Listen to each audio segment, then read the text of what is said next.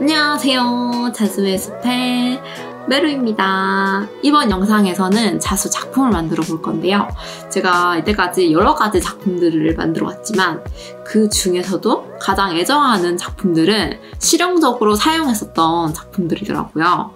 요 저번에 만들었던 팔토시 이거는 진짜 겨울 내내 끼고 왔어요. 작업할 때 일용으로 만들었는데 막 뷔페에 가서도 이걸 끼고 밥 먹고 야외에서도 끼고 다닐 정도로 애정했었던 아이템이에요. 그리고 독조리 백인데 자수 패치를 이렇게 달아줬어요. 이것도 엄청 잘 들고 다니거든요. 그러다 보니까 관상용으로 작품을 만들기보다는 좀 실용적으로 사용할 수 있는 작품을 만드는 게 좋겠다 싶어서 이번에는 발매트를 만들어 볼 거예요. 발매트 도안은 보여요?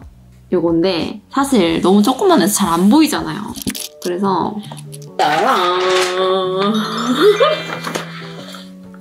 이렇게 제가 K 그림을 그린 거를 크게 인쇄를 해서 왔습니다. 잠피님은 아 우리 집 이거 러그 너무 많아서 발매트 둘 데 없다 이러는데 뭐 짜고 짜서 공간을 만들면 발매트 둘 데도 있지 않겠어요?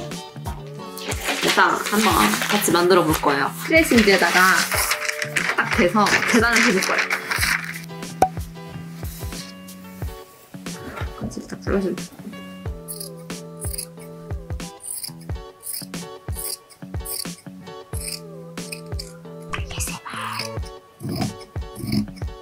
시간을 두고 작업을 할 거라서 올이 풀리지 않게끔 올 풀림 방지액을 발라줄 거예요. 그걸 뿌리면 오게 하나요? 당연하지. 이거 뿌리면 오래 안 풀려. 풀인데 원래 풀은 물에 씻으면 없어지잖아? 이거 그렇지 않아. 드라이기를 말리면서 해야겠어.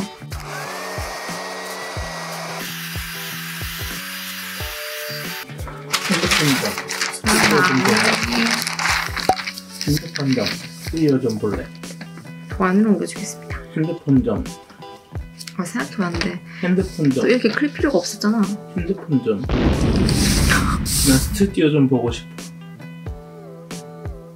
올 풀림 방지액으로 옷 나가줬으면은 도안을 옮겨와서 도안을 그려볼게요. 수렁수렁 멋집니다. 흰색을 사용해 줄게. 아이고 아이고 아, 아. 귀에 머리카락이 들어갔어. 좋은 의미인가? 의미를 부여하네. 새로 산 카메라로 찍고 있는데 이 전보다 도안을 훨씬 선명하게 담아내고 있어서 만족합니다. 역시 돈이 최고네요. 내 머리 나오고 있어. 아이고 아니야 아니야 안 나오고 있어. 오늘 머리 감았어? 뭐? 그런 걸 지금 여기서 해보자. 배터링도 정성스럽게 옮겨줘야겠죠? 머리는 제가 매일 안 감는 건 아니고요. 외출 안 하는 날 보통 안 감습니다. 저는 별로 티가 안 날 거라고 생각했는데 지금 보니까 티가 무진하네요. 잠들님은 자꾸 며칠에 한 번 감는지 상세하게 말해야 한다고 하는데 그게 더 이상하지 않나요?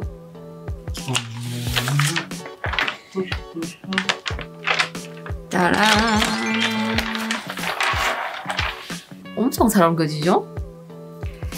그리고 이번에는 흰 색깔 패브릭 물감을 어? 색칠하는 거야? 사용해서 색칠하는 거야? 응. 나도. 아니야. 색칠은 못 참지.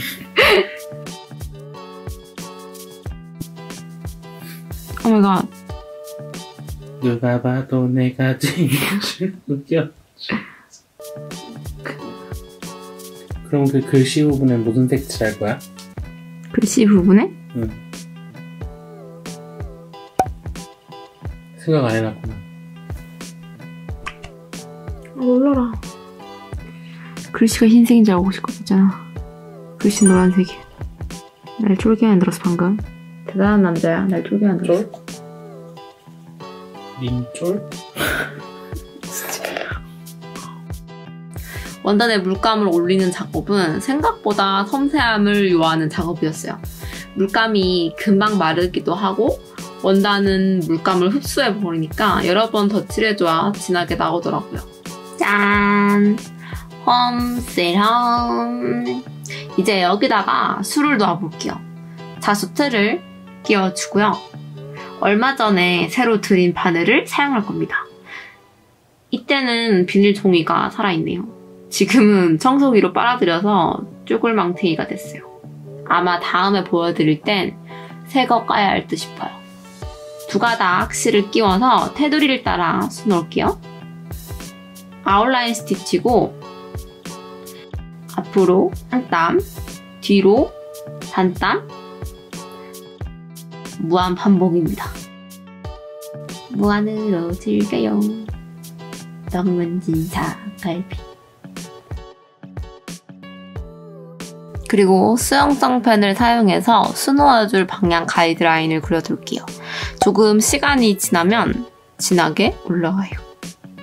바늘은 굵은 바늘을 사용해주고 실은 한 줄을 사용해주겠습니다. 속에 면을 메꿔서 위에 올라가는 자수에 볼륨감을 줄 거예요. 하늘색 사용해준 건 별 의미는 없고 허드렛 실을 사용해준 겁니다.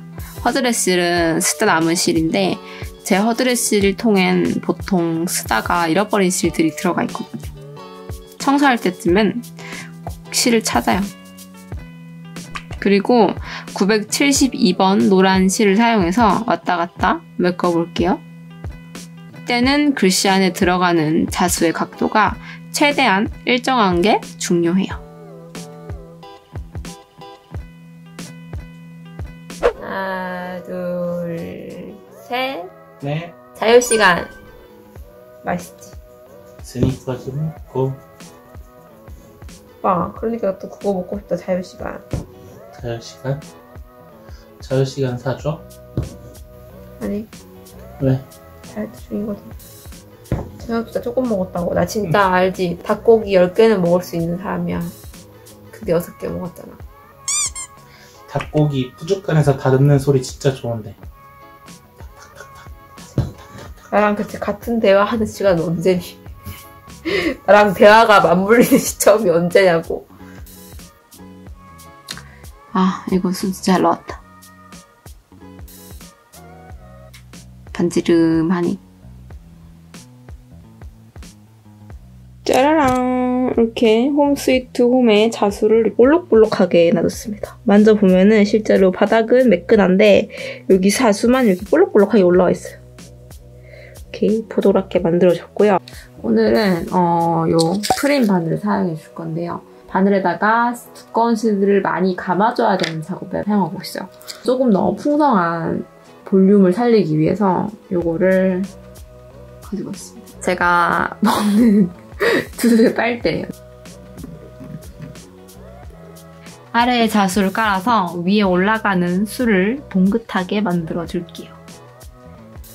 가로로 한 번, 세로로 한 번 깔아줍니다. 이번에는 퀘스톤 스티치를 해보겠습니다. 올라와서 한 땀 뜬 다음 아, 수틀 방향이 잘못됐네요. 두윳빨대를 끼워둡니다. 그리고 손가락으로 실을 뒤집어서 여러 차례 끼워줍니다. 영상 속에선 총 8번을 끼웠어요.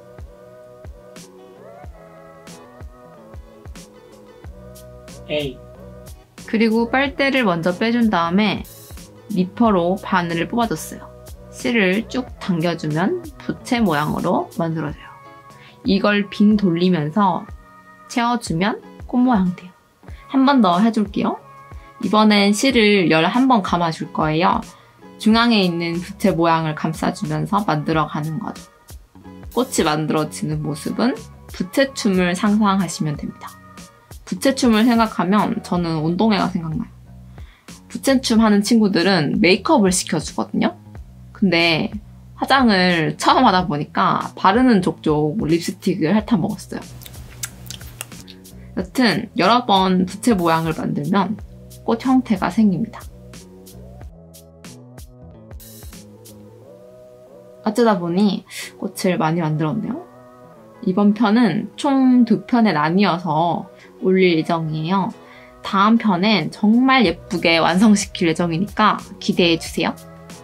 그럼 영상이 재미있으셨다면 구독과 좋아요, 알람 설정 부탁드리겠습니다. 여러분, 안녕히 가세요.